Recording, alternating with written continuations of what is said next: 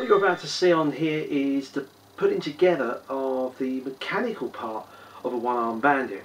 The one we're working on in particular is a standard mechanism from around the 1950s and 60s.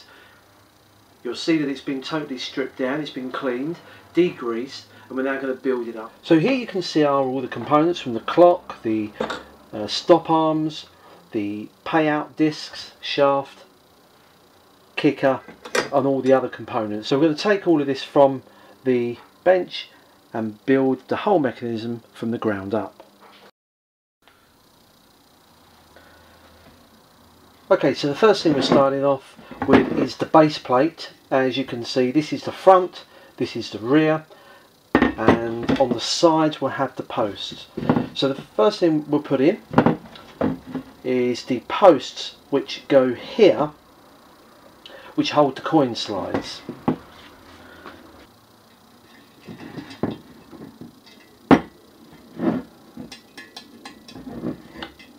Next thing is the anti-cheat device.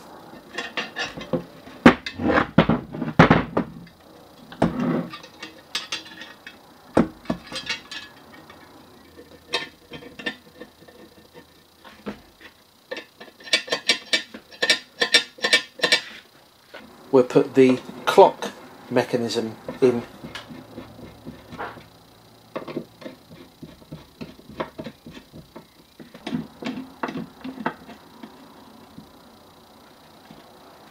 So here's what's known as the horizontal fingers. So we put these on here, it screws at the front and at the back. There's two here and two here. Let's do the back part first of all.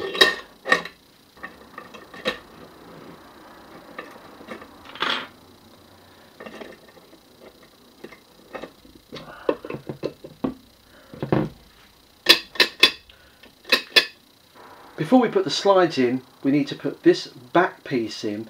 It has these hooks that the springs from the slides connect to. So we're going to put this on the back.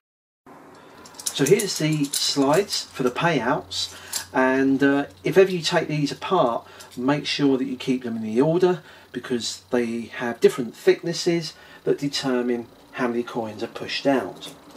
So starting from the back let's lay this one down here. And you'll see that goes just on the bottom there. And we're going to hook that on just down here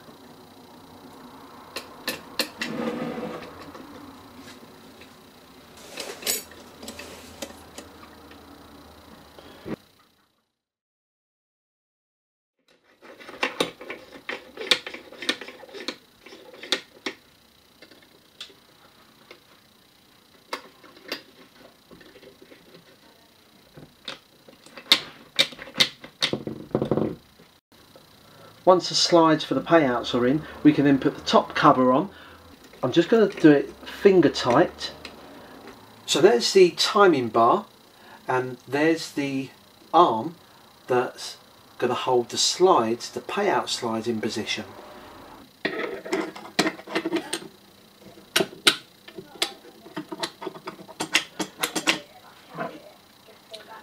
timing bar goes on top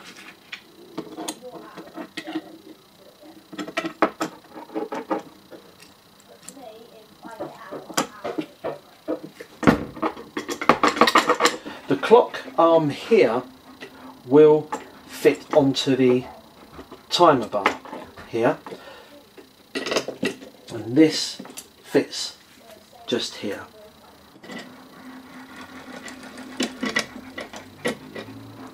Once we've got the bulk of the centre of the mechanism in, we can now introduce these.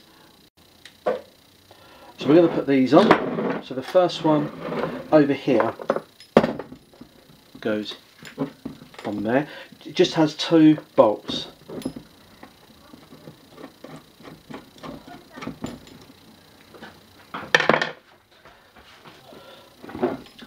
Now when we put this side on we have to make sure that in this slot here goes the timer bar before we bolt it down so it goes just in this slot here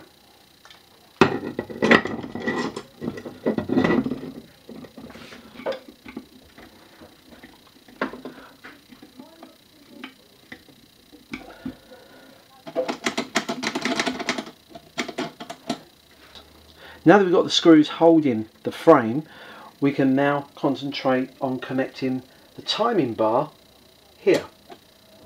Now there is a spring that goes on the timing bar on this little hook here over to here. This is the arm that holds the slides forward.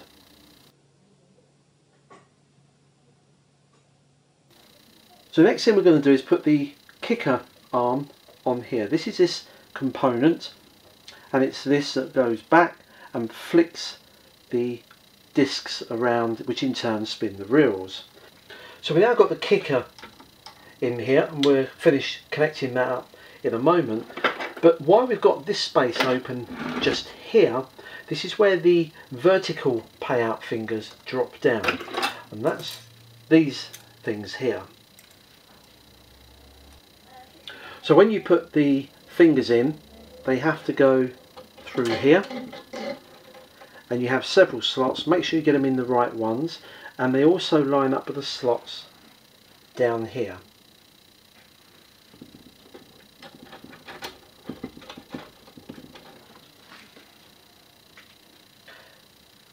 So now we've got the fingers in we need to put the bracket that's responsible for pushing all of these vertical fingers back out of the way of the spinning payout discs that spin round up here.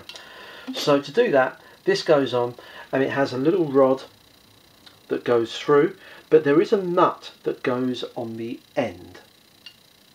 So we'll put this in. This bracket needs to be held up out of the way because if I leave it down, this gets caught. So we push this forward. We then put the little push rod in so this arm goes into there and in the back. So we hold this up and this can go in. And this is the main control arm that's going to go in.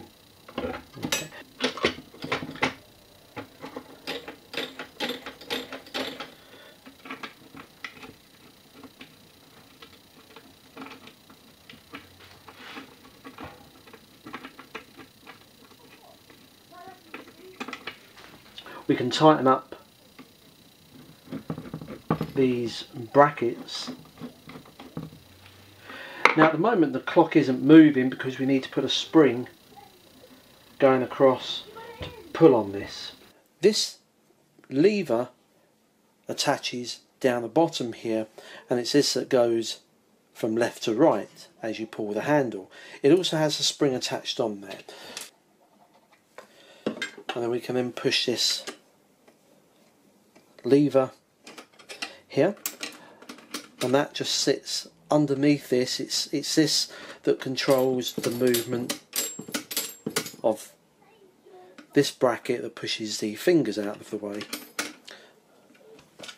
We can attach the spring which goes from the clock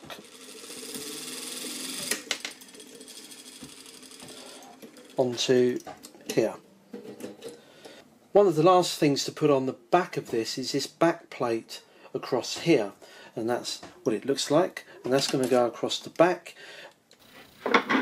So we've now got most of the mechanism back together again. If we turn our attention to the front we need to put on the front here the brake arms which are these things here and they're going to go at the front on there